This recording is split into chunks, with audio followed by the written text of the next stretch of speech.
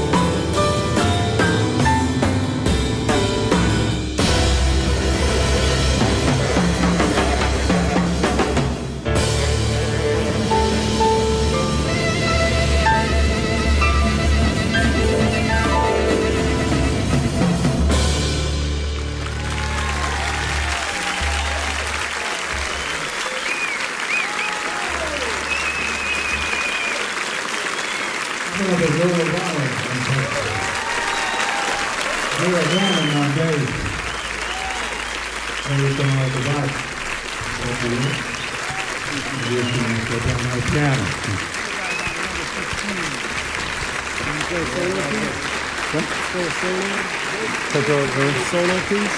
Yeah, no.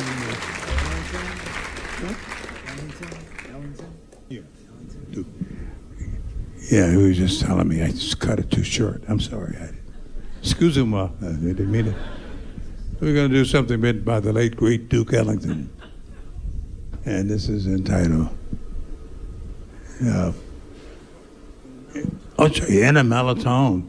Thanks, Joe. That's right.